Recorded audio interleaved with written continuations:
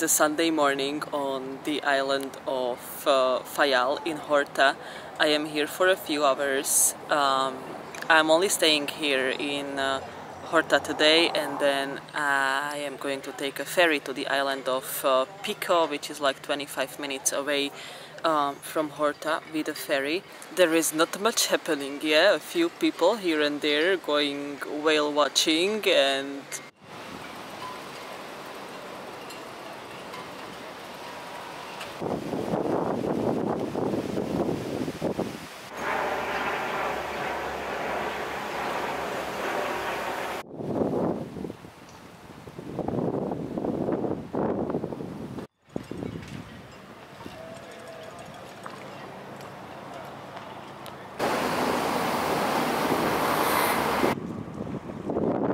We are going to take a short walk in the marina. Horta has a beautiful marina and it's famous because of the paintings which are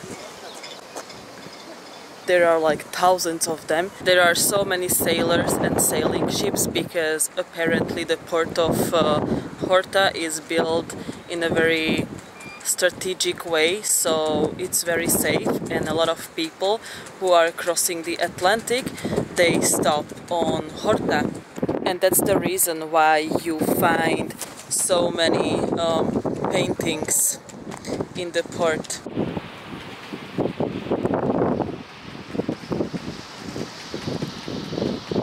All these thousands of paintings which are here in the port of Horta.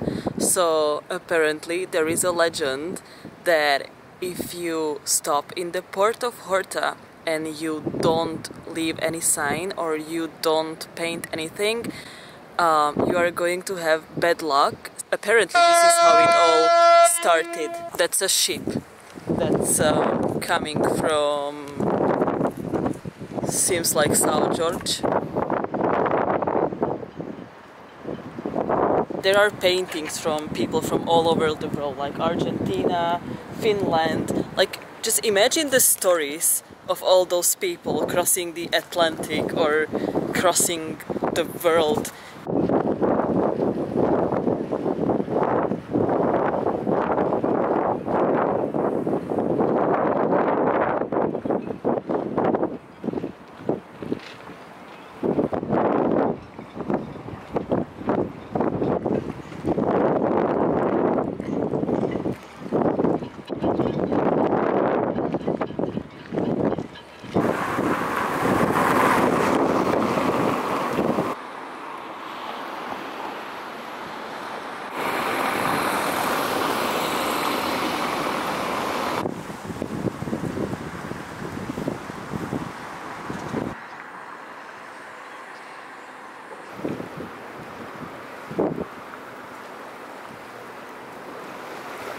There is an amazing viewpoint about the city of Horta.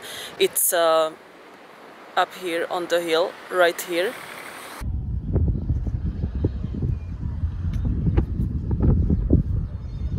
Horta is a very small city, okay? There is like, uh, I don't know, 7,000 people living here and on the whole island there are like 14,000 people, so it's so small, it's like a one big family.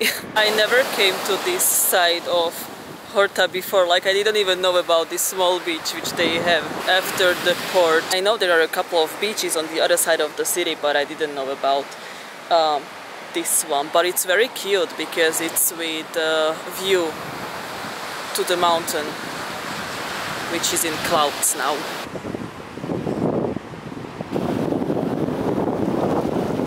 Here is the situation, so I was supposed to work today, but you know, you are on the Azores, so flights here get cancelled a lot.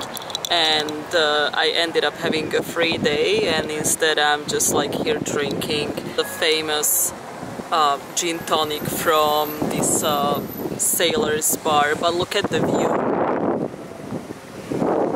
You can see the Pico mountain a little bit more now But let me tell you a cool thing. Our office always says that it's important to do things in a luxurious way.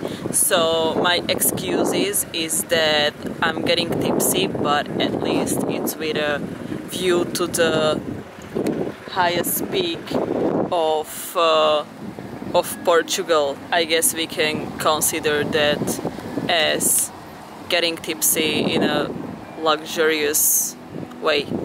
But let me show you this bar from inside, okay? Because it's very, it's very cute. It's very beautiful from the inside.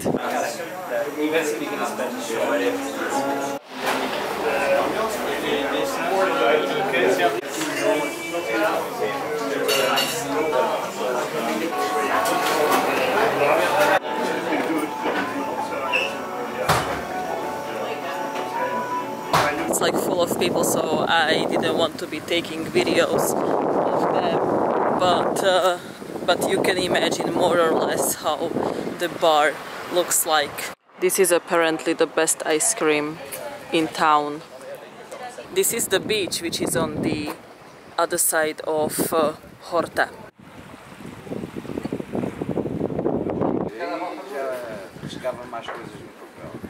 The thing is that you don't really have much to do on these uh, small islands. When I was here in April, um, our bus driver told me that it was raining for like 23 days uh, straight. So imagine living in a town where there are like 6,000 people uh, living off season there is literally like nothing to do yeah? It's not like São Miguel that in Ponta Delgada you have uh, shopping malls and like restaurants and all these things uh, all these small islands they are beautiful. But uh, yeah it's not like São Miguel. There is still a little bit of life on São Miguel even uh, even in winter. Yeah you have stuff to do but over here a lot of things are closed in winter um, a lot of things close even during the afternoon over here uh, even if it's like um, peak season now like August you know summer.